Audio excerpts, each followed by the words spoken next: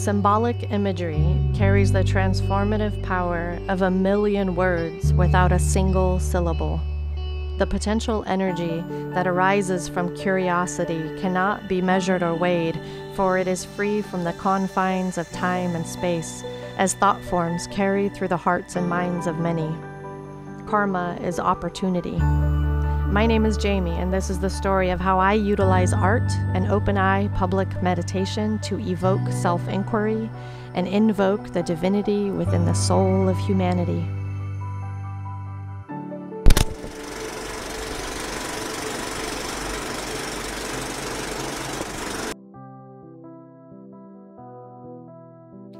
Once upon a time in the Milky Way galaxy lived a beautiful planet named Earth, who came to be known as the Great Mother. She was the harmonic voice of the universe, which meant one song. She was home to the most magnificent mountains that fed wild rivers, who ran to her hues of blue oceans as vast as the cosmos itself Canopies of green trees rooted in her rich soil swayed to the rhythm of her gentle breeze. The Great Mother provided the balance of life for many species within her loving moonlit gaze. Wise old elephants roamed the plains, witty dolphins swam in her seas, and birds glided through the skies with the greatest of ease. One day, a star landed on the Great Mother and planted a peculiar seed that grew into the human species. These fascinating beings were unlike any creatures before, with curious minds and a design that allowed them to manifest brilliant technology over the span of time. The humans flourished and expanded for thousands upon thousands of years, building structures that reached towards the stars and machines that flew at lightning speeds. The humans grew smarter and stronger in many ways, but also grew in their limited view of who they were beyond what their senses or stories told them was true. Their ways of being became curiouser and curiouser to other species and galaxies far away. These silent watchers were the big brothers and sisters of the same light. They observed over time in dismay as the humans' destructive forces gave way to the darkest of horrors and terrors untold. They saw the system of greed that preyed on the senses of the human's identity, exhausted the finite resources of its host while exploiting the labors of its kind. It was simple to understand the trifecta of powerful global elites who played in the corporations, banks, and governments that directed the policies and behaviors which determined the human's trajectory not to mention the countless other species which were vanishing right before their very sleepy eyes. The greatest injustice the human species had ever seen, its own demise, was lurking like a gray cloud in a darkened sky. The Great Mother knew the only way out of this mess was through. She called out to her star children to remember their oneness in their waking slumber. She knew her humans were capable of many wondrous things and thought, if only they could see their infinite selves, oh, how lovely this world could be. Like any adoring mother would, she used her tough love to have her one voice be heard for the sake of their own good. Her soul stirred and shook from deep underground. Her winds blew and fires grew. Her mountains cracked open in bursts of red and orange. Her cries filled the skies in rolling thunder, and tears of blue filled the lakes until they flowed to the oceans and back again. Then suddenly, the great pandemic swept across the land, taking thousands of lives and dividing countless more, who took to the streets waving flags and fingers in all directions until, alas, at their own reflections. Time seemed to stand still for many humans as they watched the changes unfold. Transparency slowly revealed the truths that so many didn't dare see before. The people watched in disbelief as their leaders' incompetency and their own complacency was in clear sight. The desperation of the greed began printing money for themselves to salvage their fortunes, and then they ran for the hills. Realizing they had been bamboozled into playing a most cruel game called annihilation, the masses became humble in their wake. They had allowed the systems to engulf their very way of being. They were the machine.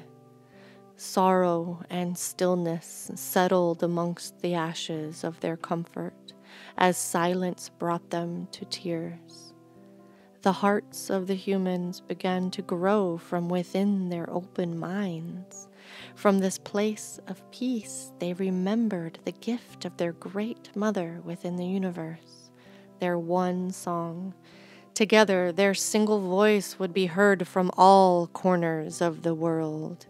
They knew the difficult part of change was taking responsibility, and that would be the first verse of many songs to come that would raise their vibration in the rapture of being in absolute harmony.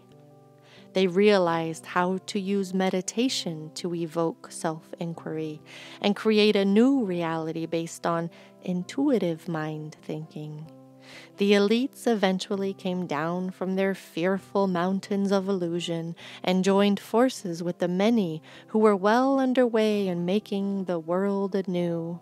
Little towns sprang from their collective visions of gratitude, and together they built empires of plenty with no more slave labor or factory farming, no more fracking and burning, no more poisonous chemicals, pills, or foods for harming. They realized methods of production and consumption that gave back to their great mother who smiled upon them. The humans used innovation and technology to embed their sacred values, which they held in their hearts all along. It only needed to become free in one cosmic song.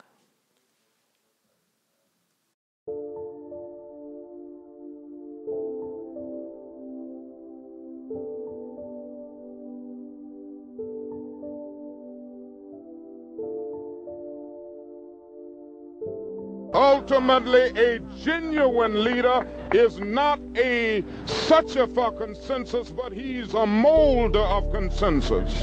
And on some positions, Howard is asked the question, is it safe? Expediency asks the question, is it politic?